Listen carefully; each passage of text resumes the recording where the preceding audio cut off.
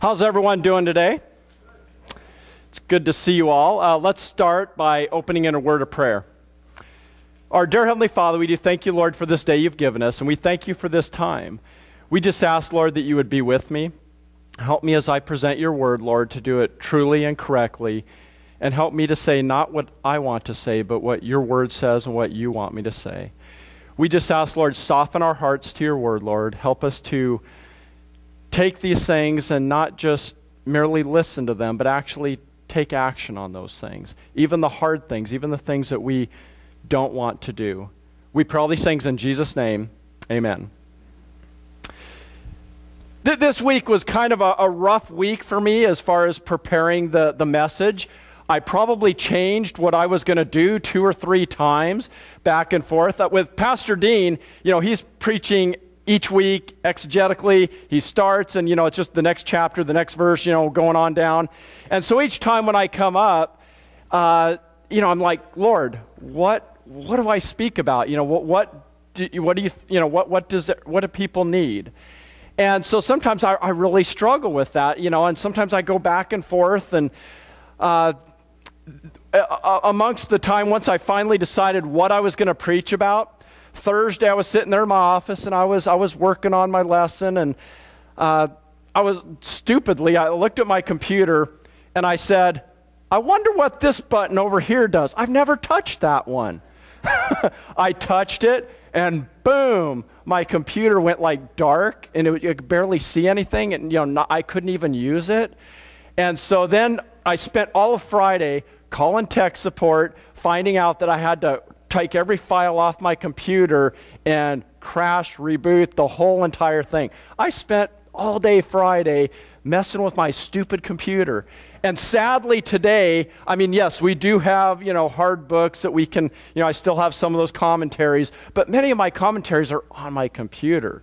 So that, that made it, you know, kind of a, a, a tough week, a challenging week. You want to have Christian anger and throw that computer across the room, but needless to say, I didn't do that. But, um, you know, Pastor Dean asked me uh, about a week ago if I would preach and share the word while he was gone. And so I've picked out this important passage, and I'm going to read to you from Gulliver's Travels this morning. no, really, I've got the book, see, right here. and Gulliver's Travels was written by the Irish writer and clergyman Jonathan Swift in the year 1726. Gulliver's Travels is what we would call a satire on human nature. Now, if you're not sure what satire is, satire is criticism with the intention of improving society. And sometimes it's done in a very witty way, or maybe even you might say a funny way. And many of you probably, how many of you heard of Gulliver's Travels? Because you probably have seen the movie from, I think, the 1950s, and then there was another remake, I don't know, maybe in the last 20 years or so, I think Jack Black did it. And it was the one where Gulliver's really big, and all the people in the, that, that island he goes to are really small. Then there's another one where Gulliver's really small, and all the people are big, and there's different, different stories out of Gulliver's Travels.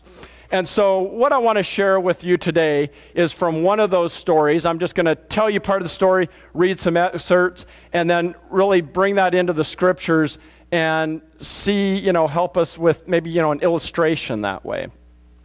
And so, Gulliver, he was a sea captain. And he was set out on this voyage, and his crew mutinied against him.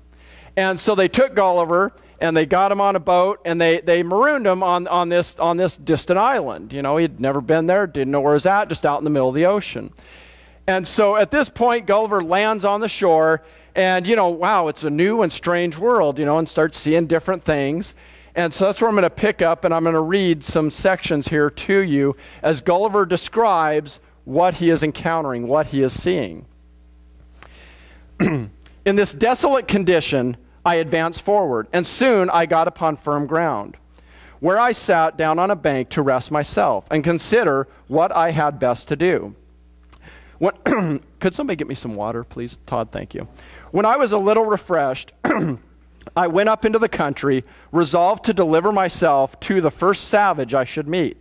and purchase my life from them by some bracelet, glass ring, or other toys, which sailors usually provided themselves with in those voyages, and whereof I had some about me. The land was divided by long rows of trees, not regularly planted, but naturally growing. There was great plenty of grass and several fields of oats. I walked very circumspectly for fear of being surprised or suddenly shot with an arrow from behind on either side. I fell into a beaten road where I saw many tracks of human feet, and some of cows, but most of horses. At last I beheld several animals in a field, and one or two of the same kind sitting in trees. Their shapes were very singular and deformed, with a, and with a, which a little discomposed me, so that I lay down behind a thicket to observe them better. Some of them coming forward near the place where I lay gave me an opportunity of distinctly marking their form. Their heads and breasts were covered with thick hair, some frizzled and others lank. They had beards like goats and a long ridge of hair down their back, and the forepart of their legs and feet, but the rest of their bodies were bare, so that I might see their skin, which were of a brown buff color, and they had no tails.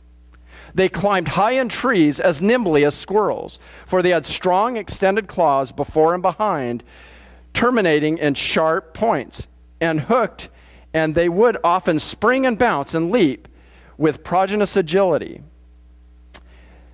And it, then he goes down and he's describing them again. And he says, Upon the whole, I never beheld in all of my travels so disagreeable an animal nor one against which I naturally conceive so strong of an antipathy.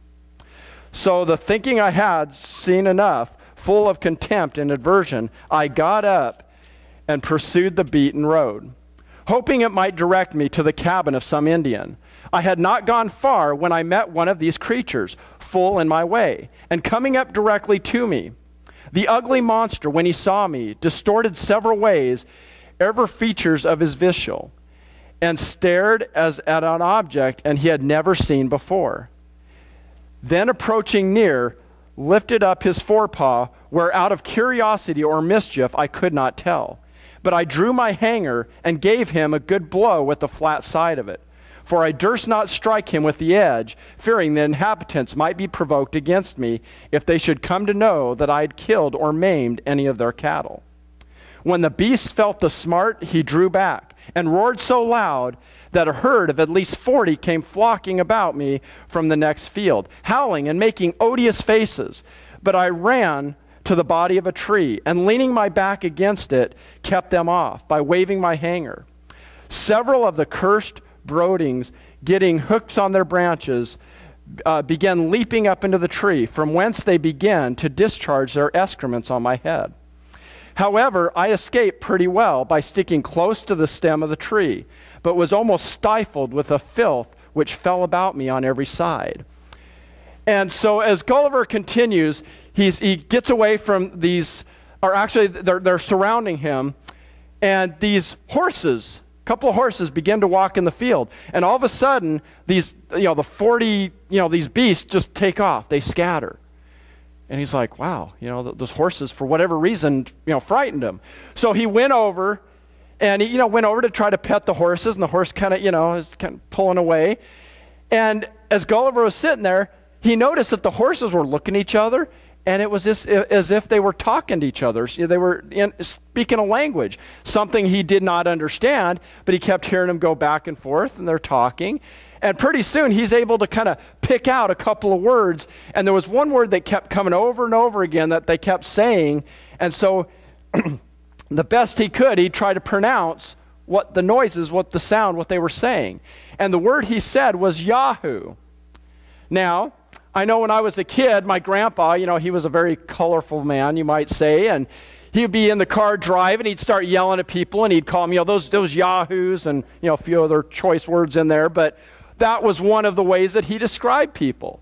What word Yahoo today? Yahoo.com, right? And this piece of literature is where that word came from, Yahoo. And so the, the horses kept talking back and forth, And so they, they and, and, and he keep trying to pronounce and talk. And so these horses, you know, they seemed as if, as he describes it, were very intrigued by him. He looked very different, but yet he looked familiar. So, like the horses allowed him to come along with him. They went back to where the horses lived. And in this particular uh, land, the horses were the people that ruled, that ruled the, the island. They were, the, the, this was, piece was written during the age of reason, the Enlightenment. And the horses were representing what reason was, enlightenment. And so the horses brought him back, and there were other horses there. You know, it was like a community. And the, the, this one horse, you know, for some reason was very intrigued by Gulliver and he allowed them to, you know, to stay there with him. But the other horses were kind of like, yeah, you know, I, I, don't, I don't know about this guy. And when he came in, those creatures that surrounded him out in the field, those odious, horrible animals, he's seen one of them just like we would have our dog kind of chained up and they would throw some food there and feed it. And that was what the Yahoo was, was that, that odious, horrible animal. And as you read through the story, each time that they talk about the Yahoos, it is described as ugly monster, cursed race, odious animal, filthy, deformed, mischievous, and malicious. And so as they keep going on through, they allow Gulliver to, to stay there overnight. And so they, the, the, the, main horse begins to talk with Gulliver, and he keeps, like, they're teaching each other their own language. And soon, Gulliver is able to communicate with them as they are to communicate with him. And so Gulliver begins telling them all about the human race and the Euro- Europe and the known world. And the horses then were too sharing with him their knowledge, what they knew about, and them as well.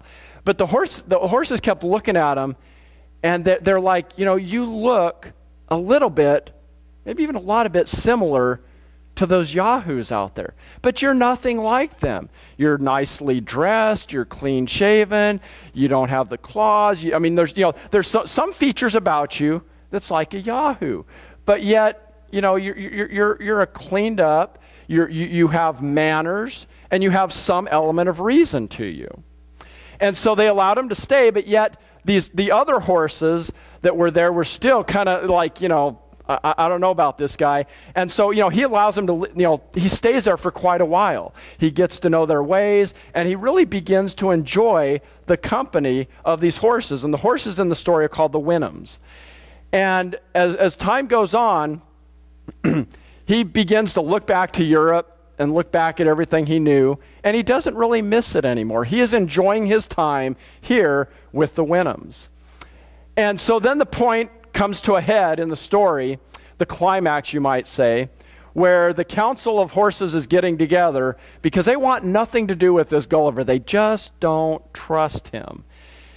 And so they're, they're beginning to gather together their counseling of what is the fate going to be of Gulliver. Please turn to James chapter 1, verse 19. James chapter 1, verse 19. Now, this is a familiar passage. Many of you could probably quote many of the verses out of here. Many of you know it.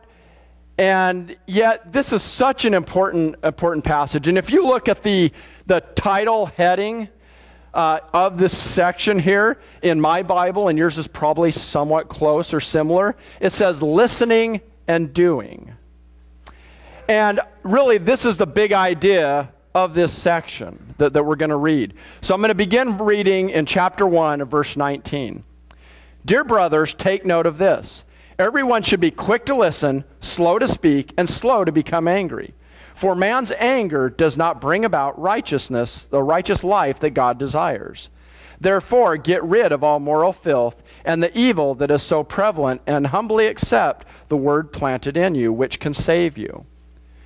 Do not merely listen to the word and so deceive yourselves. Do what it says. Anyone who listens to the word but does not do what it says is like a man who looks at his face in a mirror and after looking at himself goes away and immediately forgets what he looked like.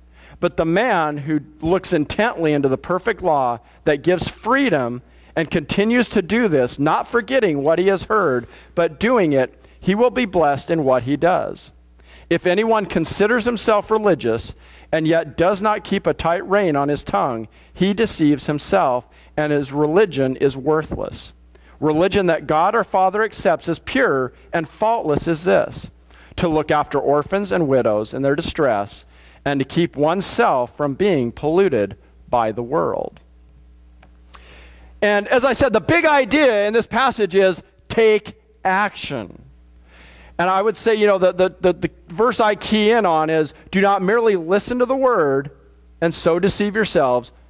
Plain and simply, just a few words do what it says. And, you know, we see with Jesus, Jesus was very kind, Jesus was very loving. But Jesus didn't beat around the bush with people, he got straight to the point. And, you know, we, we see, like, you know, say the woman at the well.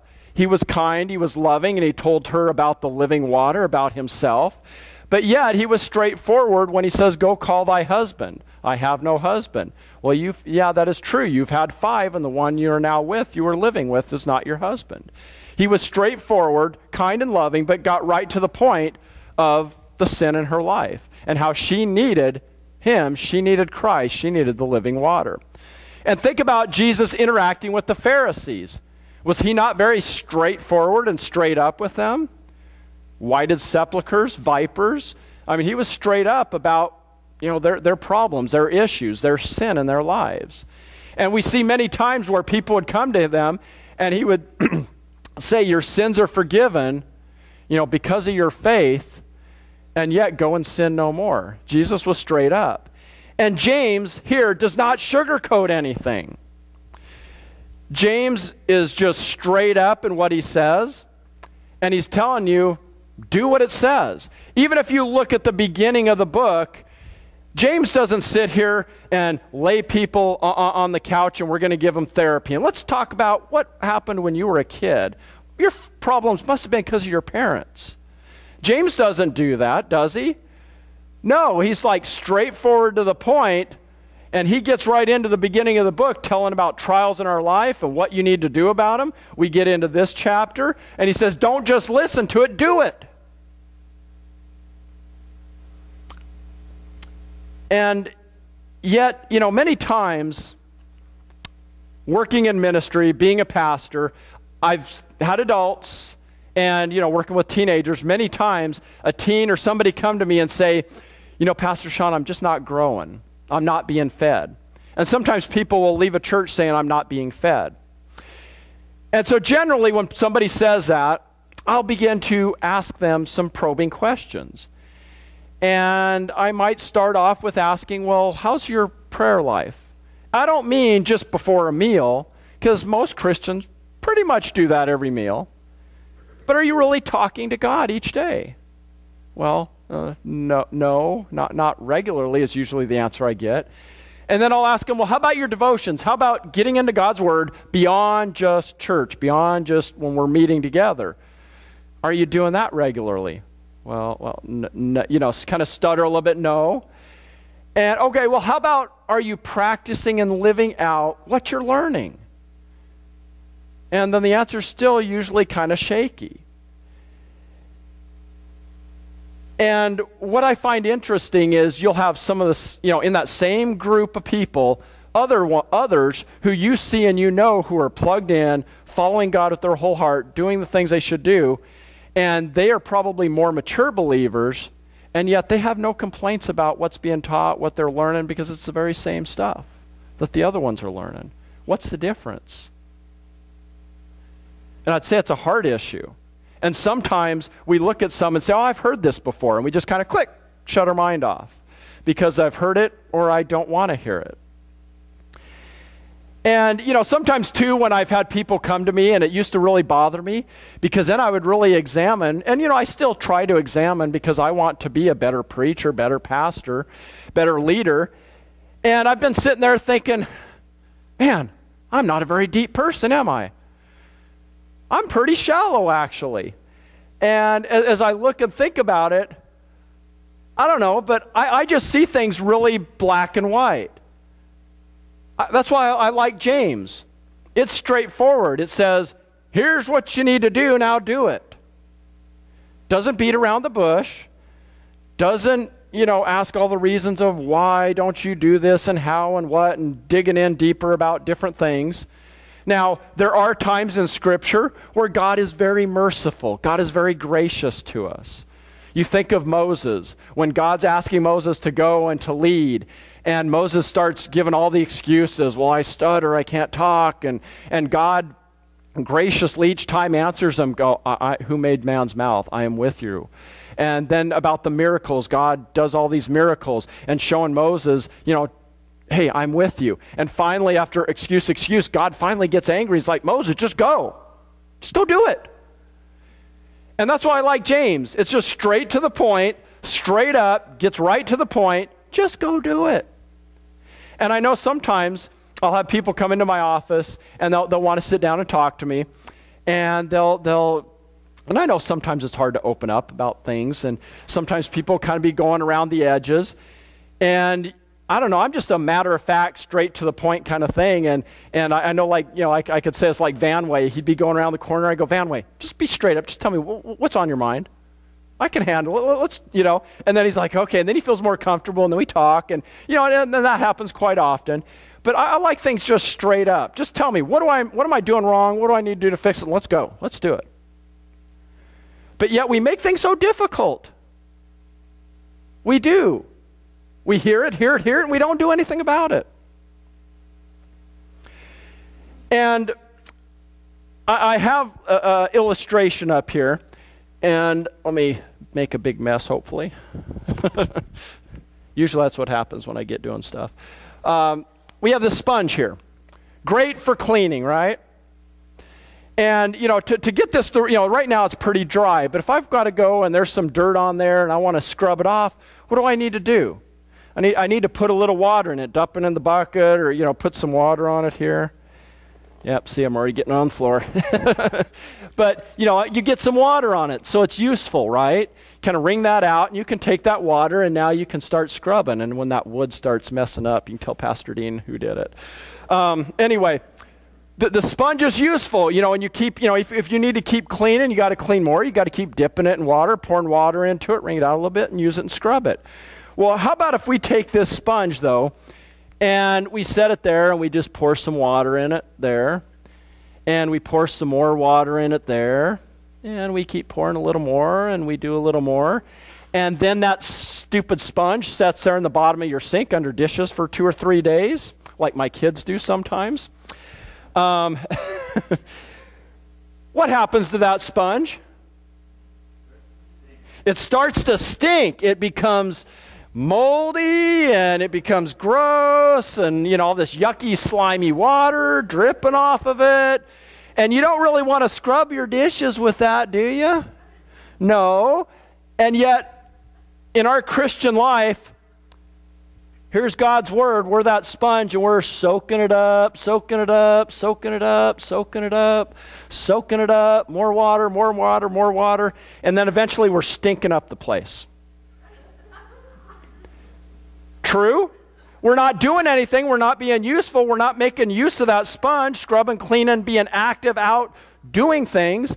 And guys, in our spiritual life, God's word is being poured into us each day, and we're doing nothing about it. We're just sitting there, sitting there, soaking more up, soaking more up, and then eventually we're sitting there saying, I'm not being fed, I'm not learning, I'm not growing. It's because you're not being wrung out and, being, and using what God has given you. Because you can take on can, can that sponge after a while take on more water? I mean, because if I keep like, you know, if I kept pouring, pouring, pouring, it's at the point now where it's not going to take on any more water, right? It needs to be wrung out. It needs to be, do some more stuff. Then more water can be put into it. Guys, with God's word, you need to use it. You need to put it to use. It's going to do you absolutely no good. You're a useless, stinky sponge if you're not doing anything with what God has given you. And I know it's kind of a dumb, I don't know, illustration, but yet think about it. I mean, that's what we become when we continue hearing, hearing, hearing, but not doing. And I know this is like a so elementary, ABCs, really simple. I've heard that before, but we're not doing it. And let's go to verse 23. Anyone who listens to the word but does not do what it says is like a man who looks at his face in a mirror and after looking at himself goes away and immediately forgets what he looks like. But the man who looks intently into the perfect law that gives freedom and continues to do this, not forgetting what he has heard, but doing it, he will be blessed in what he does. Guys, God's word is a mirror. It's a true mirror. It shows a true reflection of who you and I are warts, scars, messy hair, ugly face. I don't know, applies probably some of you. But anyway, it shows who we are the good and the bad. Now, you know, a lot of us would like to have in our house one of those fun house mirrors that, you know, make us look skinny so when we get up in the morning like, oh, my diet's working pretty well. You know, I'm eating everything I want. And, you know, those mirrors are really not a true representation of you, right? They distort you. And yet, God's Word is that true, clear picture of just who you are, warts and all. And it's something that we should be looking into and saying, what do I need to fix today? What do I need to correct? And, you know, we come to church and, you know, maybe some of you are sleeping right now. Or maybe some of you, your mind is wandering and you're thinking about brunch after this, this, this service. And, you know, and maybe some of you are thinking, I just wish Pastor would be finished. I wish he'd be done. And, you know, but if we go out for lunch later, or say I see you on Monday, or see you on Tuesday, and say, What was Sunday's message about? Sometimes you struggle to remember what it was. And sometimes it's just hours after. And I, I hate to admit this, but in staff meeting, we have staff meetings here on Tuesdays. And there's myself, Diane, there's Glenn, Susan, that at least go to church here. And, you know, what we do at the beginning is we have a devotion, and Pastor Dean opens the Bible to what he's going to be preaching on that given, you know, the up and coming week. And he reads through it, and then we talk about it because I think it's a great idea because, you know, we bounce ideas off each other. Maybe we say something, he's like, oh, I hadn't thought of that, you know, and maybe writes it down. And sometimes, though, you know, because, you know, Pastor Dean preaches exegetically and we're going verse by verse, chapter by chapter, he'll ask us a question about Sunday. And sometimes we've sat there and go, uh, uh, and he's like, thanks, guys, for really listening to what I have to say on Sunday mornings. Now, it's mostly Diane. But, but um, I'm just kidding. I'm just kidding with her. But, but I, I, have done it too. Uh, and, you know, we, we've done it, right, Diane? I mean, we, at times we've sat there and struggled to remember. And guys, how can we do what we don't remember? Because we're kind of just kind of that part in our brain where we listen, it's going in, but it's really not you know, we're not listening. Like my wife says many times, she's talking and I'm, my eyes are open, I'm listening, but I don't remember what she said. You know, it's something you got to work on. I'm not saying it's good, but anyway, we do it, right? And you sit here Sunday, and some of you will leave and forget what we've talked about this morning. How can you put to action what you don't remember? When we come to church each week, we open the mirror of God's Word and maybe your heart is stirred. But then, as you walk away, you forget and no action occurs. You're well intentioned, but it just kind of, the busyness of life gets to you and you just forget about it. Or, you know, there are some people, and in every church, we have them too. People show up on Sunday mornings because it's their duty. It's something they've always done. They've always gone to church. the only time we see them all week long is just the one Sunday morning service, and that is it. Their life does not reflect Christ outside of the building. People might not even know that they're a Christian. Every church has them. They feel like they came, they did their duty, and they go away. they're seeing the mirror, they're hearing God's word, but it's not affecting and changing their life whatsoever. There's also people that fall into that category. But then also, there's some of us, they say, we love God and we're trying to serve Him. But we have certain areas of our life where we're comfortable with and we just don't want to change it. We're okay with the, that messy hair, whatever it is. You're like, I, I can live with it. I'm okay with that. We see it in the mirror. We know it's a problem, but we're comfortable with it.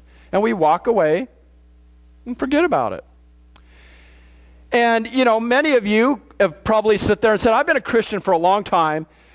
As Pastor Dean's preaching through John, I've heard it a hundred times. And th- this message on James chapter 1, I've heard this message 10 times already and the nine others were much better, more interesting. And that may be, but is it sinking in? Is it something you're actually listening to? Go, okay, I'm going to go actually do something about this. I'm going to take action. And guys, we, we need to get serious about our Christian life. We make it so difficult. Guys, it's pretty much shut up or do it. Just do it. I mean, it's, I mean, we, we, why do we make it so difficult? Well, you don't know my past. You don't know what I've been through. And yes, we've been through tough things. All of us have had tough things in life. But is James sugarcoating it? Is he saying, that's okay, I understand, da da da da, and, you know, we can blame all this on your parents and what this person and that person did? Is, is that what the Bible's saying? Is that what James said? Are, are you responsible for what you do? Are you responsible for your own actions? Yeah. Just do it. And yet that's so difficult. And, you know, is it possible that a mature Christian can come in here, come into church each week, hear God's word, and continue to grow and continue to be convicted and continue, even if they're doing something well and right, to say, you know what, I can do better, I can do more. Is that possible? Yes, of course it is. But yet, a lot of us think, I got this, I'm good, I'm mature. And, you know, we make that big mistake, and I think this is part of what keeps us from growing at times, is we compare ourselves amongst each other. And the Bible says that he who compares himself amongst themselves is not wise. And, you know, I mean, think about it. I hang out with Pastor Dean, Harry, Luke, Todd, Dan, Ryan, Mike. They're a pretty motley crew. I look pretty good compared to those guys. I don't need to change much if I'm comparing my crowd of people I hang around with. I'm pretty close to glory compared to them. And yet, it causes us to just be static, to just be comfortable, to not want to change because I got my problems, but I'm not near as bad as that guy down the aisle over there. I'm doing pretty good. And yet, does God's word say you get to a point and then you're, you're totally fully mature? No. Sanctification is progressive in the sense that from the day one of your new birth to the day you die, you should be growing continually. None of us ever arrive. But yet, spiritually, we think we have. And we just stay static. Do you think it's kind of hard for a pastor sometimes? We've been a Christian for a long time. We went to Bible college. We teach the Bible all the time. We're in our office reading. It could become difficult for us too but yet, God requires all of us to continue to grow, grow, grow. We all have our problems and our issues. It, we sit idly by, we look into that mirror, and we're not growing. We're not changing. We're walking away and forgetting what we've seen each and every week. And if some of you were wondering about the rest of our story, I'm getting to that. And as, you know, the council is going, trying to decide about Gulliver, in the meantime, as Gulliver's there in the land, this event occurs.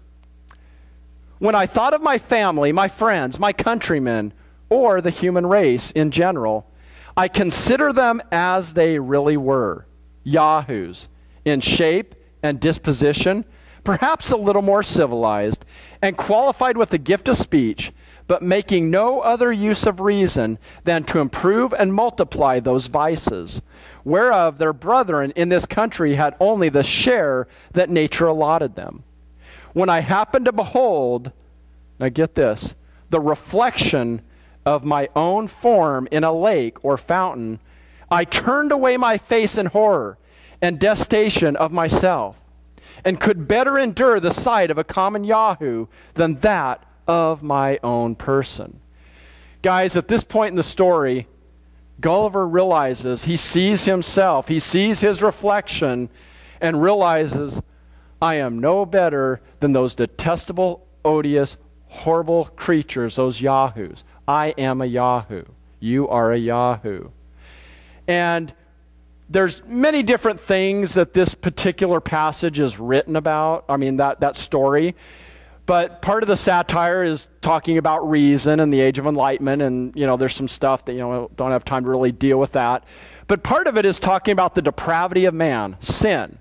Remember, I said he was a clergyman, and so you know, it's, it's getting to the point here of where Gulliver realizes I'm no better than they are. That you know comparison that well, I'm a little more civilized, I dress better, I might look a little bit like those guys, but I'm not them. And yet he realizes I'm one of them. And we need to come to the point where we quit comparing ourselves with our neighbor, with the people down the block, whatever, and realize I need to change some things about my life. I've looked in the mirror and I shouldn't be liking what I'm seeing.